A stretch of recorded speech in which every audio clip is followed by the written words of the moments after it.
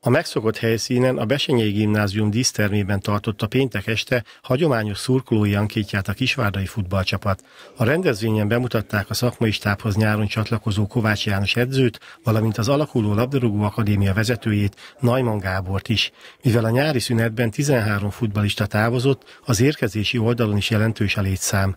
Az ankító 8 játékos, Vermes Krisztián, Tihanyi Olivér, Talabér Attila, Szabó Péter, Olá Gergő, Lukács Rihárd, Lengyel Béla és Karas Péter vehette át a csapatmezét. Miroslav Grumics még a költözését intézte, Fodor Ferenc pedig vasárnap kötelezte el magát a Kisvárda mellett. Mint a Révész Attila szakmai igazgató elmondta, a 20 mezőnyjátékos és a két kapus mellé még egy kapus érkezik, és ezzel végleges lesz a keret.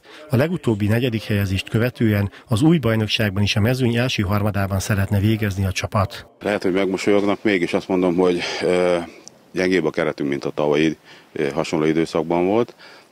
A nyolcadik hely első és a nyolc hely között kell valahol lennünk, a költségvetésünk is erre van beállítva, a játékosoknak a premizálása is a nyolcadik helynél van meghúzva.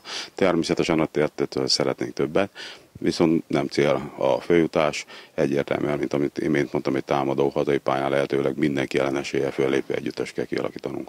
Mivel a meghatározó játékosok többsége Kisvárdán maradt, a csapat kapitánya bízik abban, hogy az új futbalistákkal kiegészülve ütőképes lesz az együttes.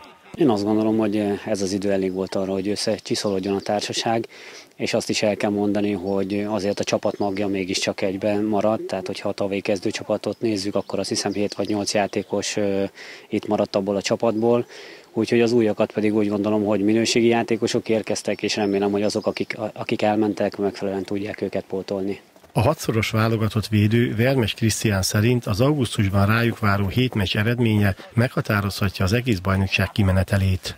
Ez egy oltári nehéz augusztus lesz, sőt szerintem az egész szezon nehéz lesz, ugye rengeteg mérkőzést játszunk, sőt majd összejönnek majd a kupa mérkőzések is, úgyhogy rengeteg hétközi mérkőzés lesz.